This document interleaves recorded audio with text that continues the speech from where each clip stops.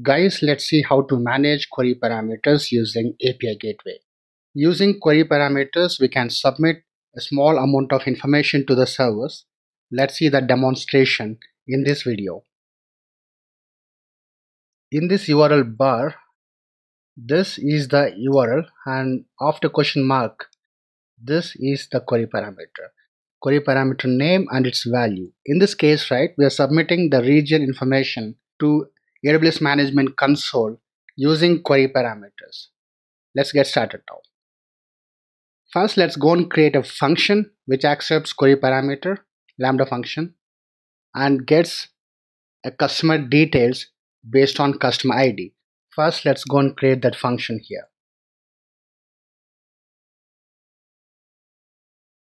Runtime, let's choose Python. We have an existing role which has permissions to access all AWS services. Lambda admin role. Let's create function. The function is created. Let's write the code. This Lambda function will accept query parameter from API gateway and gets a customer information based on the query parameter value. This is a small piece of uh, code. We're getting DynamoDB resource from resource. We are creating table object. This is the table we want to query. Using table, we're getting an item based on its primary key. Let's quickly check DynamoDB table.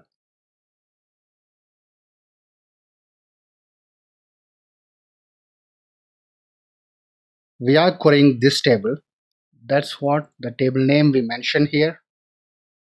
From this table we want to fetch item based on customer ID here customer ID is the primary key. We are using Boto3 module for DynamoDB on this table we're calling function get item. Key represents the primary key. This we are submitting as a JSON object. This is the attribute name here this one and its value. We get this customer id from api gateway via query parameter. Let's save this function. Let's quickly test this function right now here. Later i'll show how to integrate this function with api gateway. Let test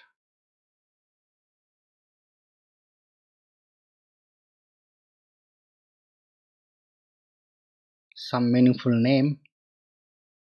Let's pass this information here.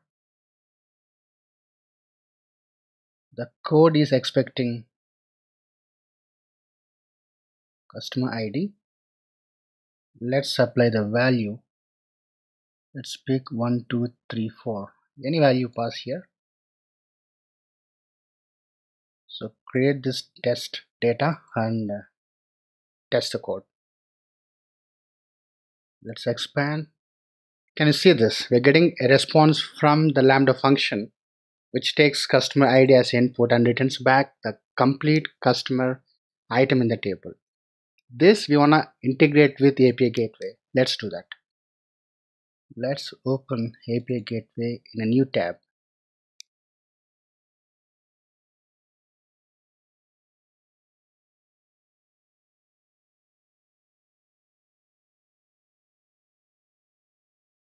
go ahead and create a method. This one I want it as get method. This API I want to integrate with lambda function which is in same region. This is the lambda function. Save the details. Okay allow permissions we have to do two things now. First, from this method request, manage the query parameters. Let's open this query string. Let's add a query string here. So let's call this one as customer ID. You can set validation on this query string parameters. Let's see those details in next video. For now, I want to just add one query parameter to this API gateway method let's get back. When you hit test you can pass query parameters here like this. Customer id equals any customer id you want to pass. This information needs to be sent to lambda function but we need to do some other configuration for this. That configuration is in integration request. In integration request we need to update mapping templates. Take data from that query parameter pass it as a json object to the lambda function. For that let's add one content type.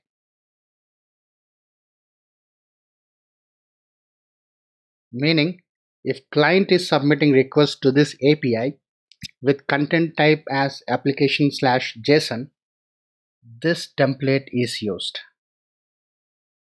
Okay, let's say secure that.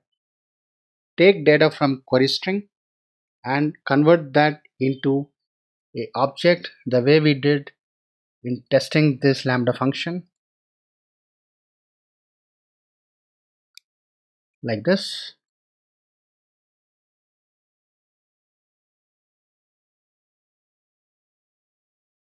so this is okay but this we need to pick from the query string query parameter. Let's do that. API Gateway supports a velocity templating language using that syntax from parameters. We're picking up a parameter with this name. While hitting this URL we are going to pass this parameter and that is taken and that value is assigned to this customer ID this JSON object is sent to this lambda function here. From that we are taking customer ID and we are fetching customer details and uh, returning it back. So let's save this. Get back to test customer ID and let's test the code from here first. See we got response from which accepts customer ID via event object if you see the URL here right this is the path after that a question mark query parameter name and its value likewise we can pass multiple query parameters and those things can be transformed into a JSON object before passing it to Lambda function. So now I want to deploy this API, get the endpoint. Let's use Postman to test the same code. Go to Actions, deploy this API. Unless you guys deploy this API, you won't get the URL to access it from the clients. Let's deploy to a dev environment, deploy that. after that choose your method which is get this is the URL let's copy this let's test this one from postman